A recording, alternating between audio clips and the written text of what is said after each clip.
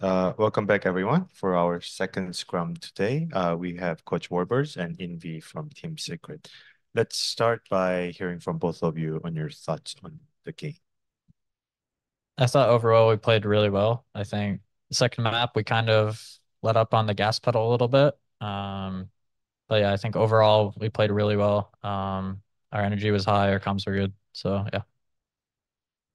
Uh, I think yeah, that's the same. Like we, I think in second map, just small individual mistakes that we can fix further. Right. Uh, next question is for Coach from Calstop Money at Strafe Esports. Uh, after today's win, Team Secret is now tied with Gen G at 3-2. With the playoffs closer than ever, how does the team manage the pressure and how does it affect the preparation, especially for the next game against Talon? Yep. So for us, we just take it game by game. Um, playoffs are in the future. Right now, we're focusing on the next match. So we'll take it one step at a time. All right. Uh, next question is also for Coach. Uh, we saw a strong 12-0 lead on the first half of Sunset. Uh, was the map pick something you had predicted?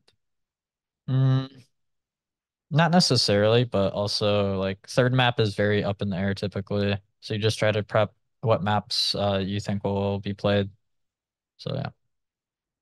Right. Next question is for invy. Uh, with both Gen G and DRX making it to playoffs, uh, which other four teams would you predict will join them, and how would you rate your team's chance at this point?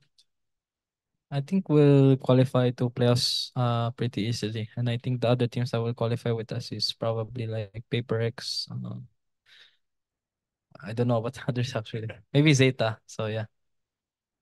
All right. Uh, we'll now open the floor for live questions.